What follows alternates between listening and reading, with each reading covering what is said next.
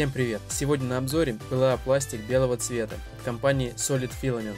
Пластик доставили вот в такой упаковке. Все аккуратно и ничего не помято. Внутри транспортировочной упаковки фирменная коробка производителя. Сама катушка упакована в вакуумный пакет с силикогелем, а на катушке также название производителя. Намотка выглядит вот так. Сам филамент достаточно гибкий и не ломается. Посмотрим, как он себя поведет при печати. Ну а теперь интересно посмотреть непосредственно напечатанные изделия.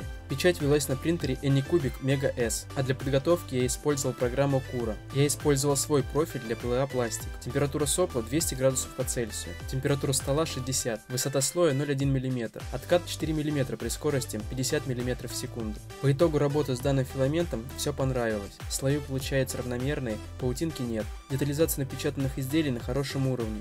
Пластик отлично поддается механической обработке и растворяется в дихлорметане, что позволяет сгладить и склеить фигурки. Также есть момент, который не особо понравился. Пластик после печати не гибкий, удаление поддержек весьма затруднительно и есть вероятность сломать изделие. Отдельное спасибо компании Top 3D Shop за предоставленный пластик для тестирования. Подписывайтесь на мой канал, рассказывайте друзьям. Пока-пока.